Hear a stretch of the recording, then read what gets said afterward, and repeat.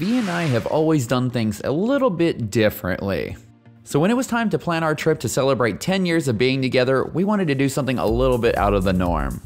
And what says out of the norm better than staying on the tiniest houseboat that we've ever seen?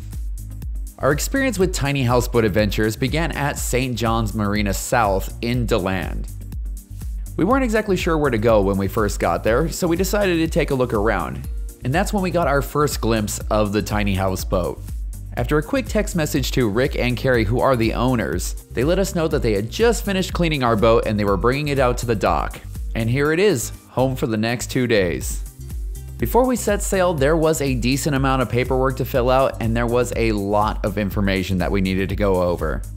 You need to be on your A game for this adventure. Being able to drive a boat and having solid navigational skills are a must. Welcome to Houseboat. After checking out the appropriately named poop deck and the rest of the amenities, it was time to get the rest of our stuff on board and get ready to shove off. After a quick refresher course on how to tie dock lines and a driving test to make sure I knew what I was doing, we said goodbye to Rick and we were off on our adventure. These tiny boats are really easy and quite fun to drive. I'm not going to lie, when we were going through all of the maps and instructions earlier, it was a little bit intimidating. But once I got behind the wheel and started putting all the information to use, I felt comfortable enough to switch hats and transform into the captain. Here's some more information about the boats. They're called Nomads and they were actually built way back in the 1960s to 1970s. If you try this and you fall in love with tiny houseboat life, you're in luck because Nomad still makes tiny houseboats. Even though there are more modernized versions, Tiny Houseboat Adventures mainly specializes in renting out the classics. So you need to keep that in mind and be careful when you're driving it because you're basically driving an antique. We started off our voyage by making a left out of the harbor. The first destination that we wanted to hit was Blue Springs State Park. It's only about 7.2 miles away from the harbor, but it seems like a bit more of a drive because these boats have a top speed of right around 7 miles an hour. So with the throttle all the way down, we slowly made our way towards our destination. Driving the houseboat seriously reminded me of the Jungle Cruise at Disneyland. Everything from the sound of the engine to the way that the boat handled. I always thought that that would be a really fun job, so driving this boat gave me a chance to live that dream for a little bit. And not only did I drive it, but Captain V spent a fair amount of time behind the wheel as well. She really impressed me. I know that she's a woman of many talents, but I had no idea that she was so good at driving a boat as well. The route to Blue Springs is pretty simple and straightforward, and soon we could see it start to appear on the horizon. Blue Springs does not have a dock for us to tie up to, so we ended up having to bring it in and tie it up to a couple of trees on the shore. This was our second visit to Blue Springs State Park and we really enjoy it here. If you want to see the first video we made about riding the tube here, you can click in the upper corner right now. At the time of the recording of this video, there was a $2 per person entry fee if you come into the park by boat. If you come in by car, it's $6 per car, so we got a pretty sweet deal. I'm sure that you noticed all of the black vultures a second ago. You need to be sure to close all of the doors on the boat because they are very mischievous and they will get into everything. We didn't plan on spending a ton of time here because we still had a lot that we wanted to see. One thing we did want to do, however, was take a dip in the crystal clear water and cool off. That is probably one of the only negative things about this experience. You can't just jump off the boat whenever you want to take a swim. Doing that could result in you being an alligator's lunch. And here we are at the swimming area. Please note that you cannot swim here all year round. In the wintertime, the manatees will come up into the springs and they close it down to swimming. This video was shot at the end of May and we were both very happy that the swimming was open because it was already very hot and humid. After a nice little soak, it was time to head back to the boat and continue on our way. One thing that we found very interesting about Tiny Houseboat Adventures is that all of the boats are equipped with a tracking device. This not only gives them the opportunity to make sure that you're going in the right direction, but it also gives them the chance to recommend some awesome spots for you to see as well. Just up the river a ways from Blue Springs is a spot called the Tunnel of Trees. This narrow waterway was actually an old logging canal that was dug way back in the 1800s. But nowadays, it's just a really pretty spot to explore. I'm not gonna lie, when I first saw how narrow it was, I was a little bit intimidated. After all, I had only been a captain for a couple hours at this point. But luckily this boat is quite nimble and I was able to make it through without a scratch. The spot was absolutely gorgeous, and with my newfound boat driving confidence, we didn't hesitate to go back through it one more time to get back to the main channel. If you end up taking out one of these tiny houseboats and you are confident in your driving abilities, we definitely think that this is one of the stops that you should hit. We are now back out on the main channel and it's time to start figuring out where we were going to be setting up camp for the night. But along the way, we needed to stop for gas. One thing that is really important to take note of is that there aren't any gas stations to the north of the harbor where we picked up the boat. So if you plan on exploring in that direction, you really need to prepare ahead of time and make sure you have plenty of gas. As we pulled away from the gas dock and continued on our way, we got word of a stowaway, and we found these apple snail eggs stuck to the side of our boat. Luckily for them, we showed mercy and let them join us for the remainder of the ride.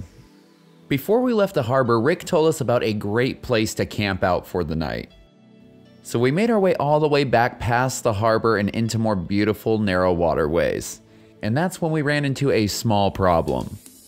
Our original plan was to head down a small river known as the Highland Park Run.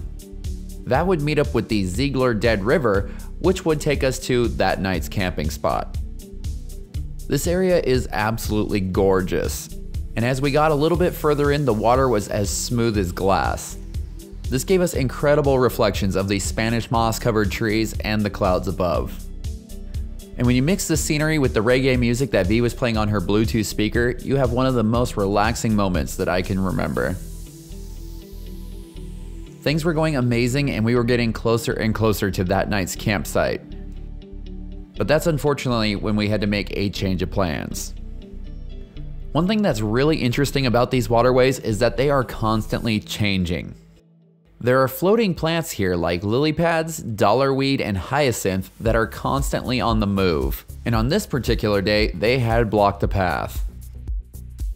So we ended up dropping anchor for a little bit while we waited for further instructions. It wasn't long before we received another message from Rick with one more camping option. You aren't allowed to drive these boats at night and sunset was quickly approaching. So we cranked it up to that blistering 7 miles an hour and got to the other spot as fast as we could. And I must say, this other spot did not disappoint. Soon after we arrived, the large boat next to us pulled its anchor and took off, and we had the entire place to ourselves. After a nice dinner, we rushed inside because the biting bugs were starting to come out. And with that, day one had come to a close. I usually like to sleep to the sound of a white noise machine, but little did I know, this river provides its own.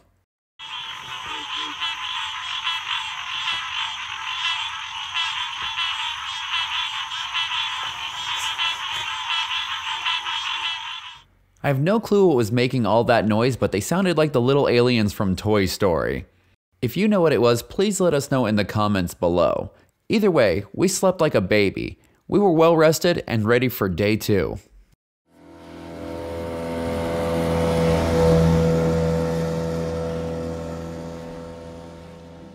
As the sunlight crept into the windows, we woke up bright and early and ready to go.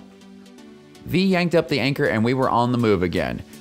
Once again, we had quite a bit of ground that we wanted to cover. Our goal for the day was that we wanted to make it all the way up to DeLeon Springs. Along the way, we would have to cross a large lake known as Lake Woodruff, as well as crossing a somewhat nerve-wracking part of Spring Garden Lake. We did take one detour along the way to follow this airboat because I wanted to see if he was going somewhere cool. But if you know anything about airboats, you know that they can go places that most other boats can't. Eventually, he dove into a large field full of lily pads and there is no way that we could follow him. As we cruise through some beautiful scenery, here are a couple fun facts about the St. John River. It is one of just a couple rivers in the United States that actually flows north rather than south. Another thing that you may have noticed about the water is that it is very dark. If you saw last week's video about our adventure with Catboat Escapes, you know exactly where this water gets its color from. If you haven't seen that video yet, I'll leave a link to it in the upper corner so you can watch that one too. As we reach Lake Woodruff, I will give you the condensed version of where the water gets its color from. As the plant life on the shore and in the water decays, it releases tannins into the water and colors it somewhat similar to tea. After what felt like a small eternity at 7 miles an hour, we finally made it across Lake Woodruff. The lake lit out into yet another beautiful river section. As we made our way through the narrow passageways, we were not only keeping an eye out for stumps and random river debris, but also for manatees. They aren't very fast or good at getting out of the way, and unfortunately, it's not uncommon to see them with propeller strikes in their sides. And here we are at the sketchiest part of the trip. To get to De Leon Springs, you need to take a very specific path around this island. If you deviate from the path, you can either get stuck on a sandbar or you can break the engine. Whichever one you do, you're going to lose your $300 deposit. The entire crossing, V was checking our coordinates and I was steering and we didn't even think about trying to film it. I'm happy to say that we made it successfully and here we are at De Leon Springs. This is another beautiful spot and thankfully it was worth all of the stress of the crossing. Stay tuned for a future video where we will go over all of the amenities that De Leon Springs has to offer. We would love to go back here and spend more time when we don't have to worry about finding a good camping spot for the boat. So after a quick front flip, we headed back to the boat because we had to cross that sketchy part one more time. Just as we got to the boat, we noticed that there was a medium-sized gator that had come to say hi to us.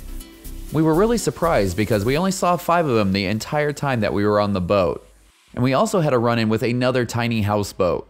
I think that somewhere between the luck that the Ospreys brought us and V's awesome navigational skills, we made it back across the sketchy part without any incident. We needed to have the boat return the next morning by 10 o'clock and it had to be gassed up, so we ended up cruising back most of the way. That way it would be a shorter drive and we wouldn't have to get up so early. We ended up finding another epic spot for our last night on the boat. And we wrapped up day two with a little dance party.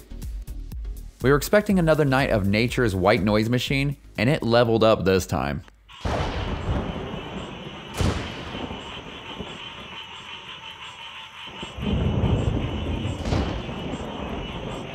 The storm must have moved some things around during the night because the plant life around us had all moved and we had hooked a giant tree with our anchor. Thankfully, we got unstuck and we were underway with plenty of time to spare. If this looks like an adventure that you would like to try, V and I recommend doing at least two nights on the boat. This will give you enough time to get around and see a lot of cool things. We ended up driving about 60 miles over the course of the two days, which is not too bad when you consider the speed that we were traveling at. We wrapped things up by hitting the gas station that is just on the other side of the bridge from the harbor. And we even had a greeter welcome us when we got back to the car. We'd like to send a huge thank you out to Tiny Houseboat Adventures. This was a really fun time.